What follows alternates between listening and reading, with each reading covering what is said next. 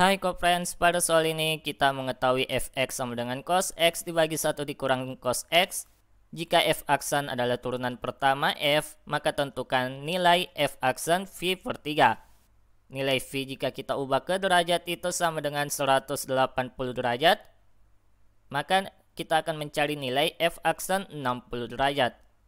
Nah, misal kita mempunyai fungsi fx sama dengan ux dibagi vx, maka untuk turunan fx atau f aksen x itu sama dengan u aksen x dikali px dikurang p aksen x dikali ux dibagi tx kuadrat.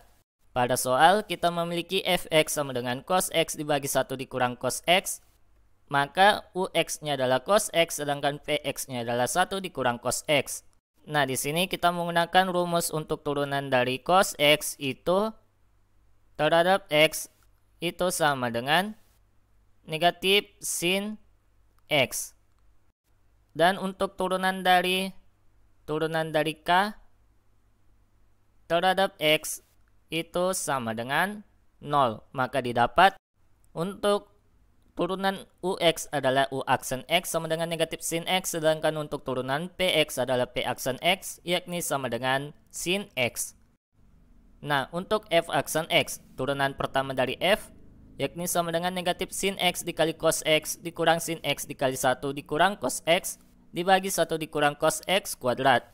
Maka kita kali negatif sin X dikali cos X, kemudian negatif sin X dikali 1, kemudian negatif sin X dikali negatif cos X.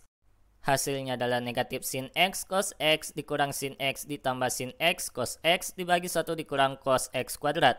Dapat kita coret yakni habis negatif sin x cos x ditambah sin x cos x itu sama dengan 0. Maka bersisa f aksen x sama dengan negatif sin x dibagi 1 dikurang cos x kuadrat.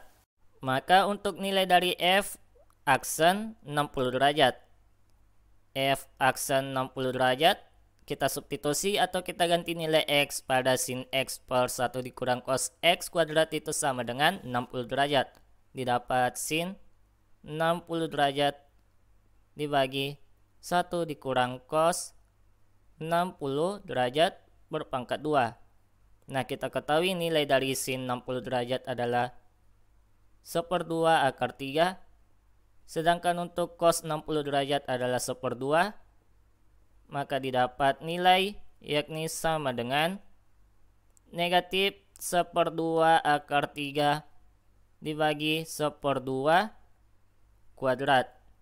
Maka kita dapatkan hasil negatif 1 per 2 akar 3 dibagi 1 per 4 itu sama dengan Nah, di sini kita mendapatkan pembagian bersusun maka dapat kita kali 4 kita kali teratas kemudian 2 kita kali 1 maka didapat negatif 4 akar 3 dibagi 2 dikali 1 yakni sama dengan kita dapat coret 4 dibagi 2 bersisa 2 maka hasilnya adalah negatif 2 akar 3. Sampai jumpa di pertanyaan selanjutnya.